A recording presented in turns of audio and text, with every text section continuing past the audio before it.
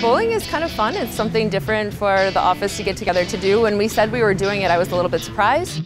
It's turned out like a really fun time, getting to know people in a very different setting.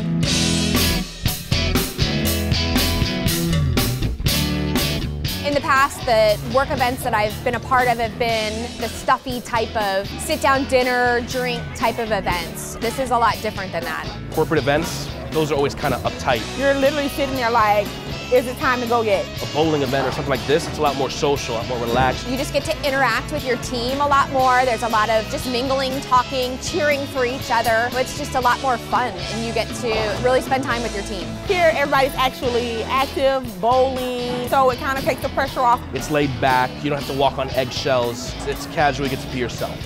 You can bowl if you want to bowl, and if you don't and you just want to hang out, you get to do that. There's other things to do. They have the arcade games and stuff like that. It's a little diverse, you know. Normally, sometimes when it comes to events like these, you have to come in and set it up yourself, and you have to arrange things on your own. Pin Chasers going the extra mile setting it up for you. It's a big help. We get like a hostess, and she's dedicated to our group, taking our orders for whatever we want.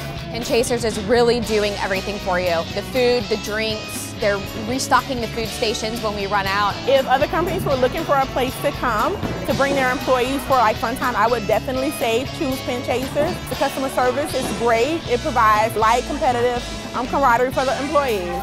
It's been a really good event. It's totally exceeded my expectations.